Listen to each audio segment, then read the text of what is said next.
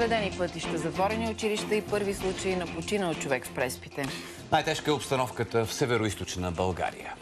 Невалина Няголова и Искра Орумова за проблемите там. Първо към Варна и ситуацията в момента. Добър вечер. Трето денонощие продължава снежния капан по морето. Основните пътища вече са проходими, обработват се с инертни материали. Малките улици и местностите обаче все още са трудно достъпни. Липсата на достатъчно почистваща техника опъна нервите на много хора. От полицията във Варна съобщават, че 31 годишен мъж е нападнал в адрома с дървена бухалка и е нанесъл материални щети. В Бургас пък се принудиха буквално да следят снегорините.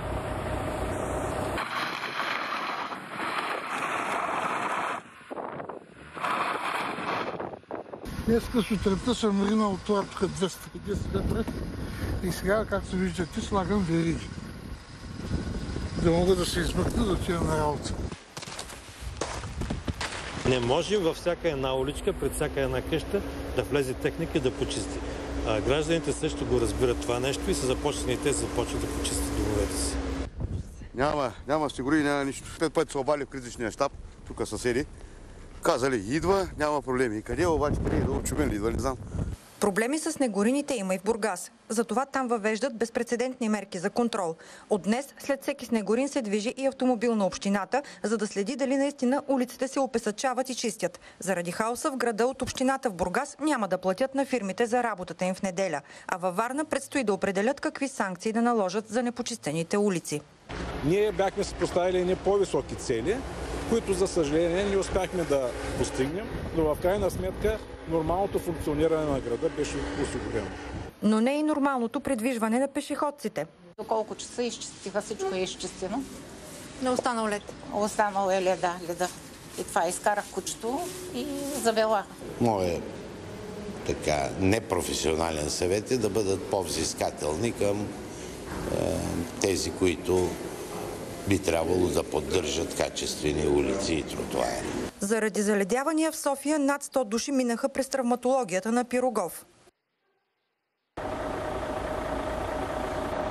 От утре поледиците се местят на северозапад. Обявен е жълт код за опасното явление за областите Враца, Видин, Монтана, Плевен и Ловеч.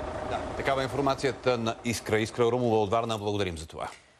А сега към Силистра, където заради силен снеговалеж тази сутрин пътищата бяха затворени за тежки камиони. Там е Нивелина Няголова. Здравей, Нивелина.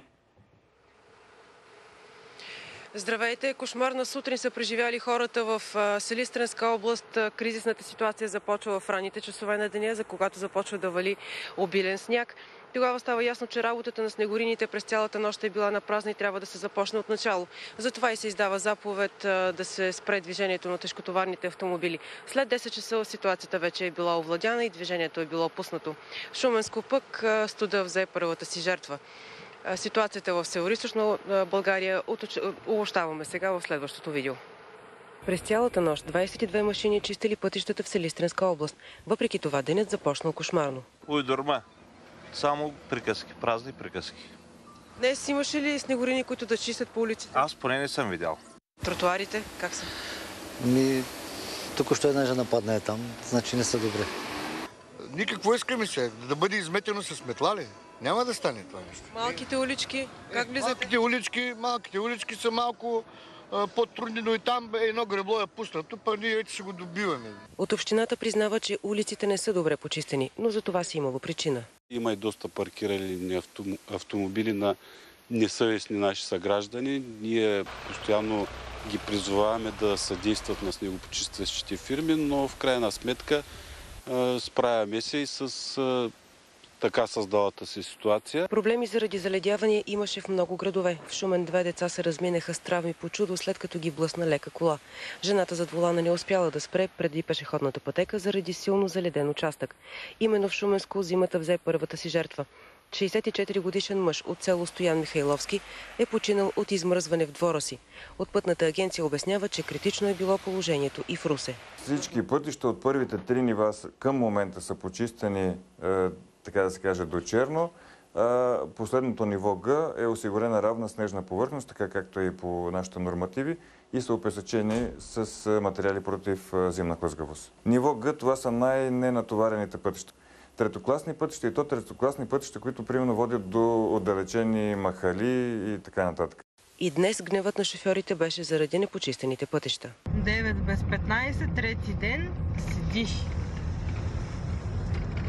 Ето колко е изчистено община Горна Малина.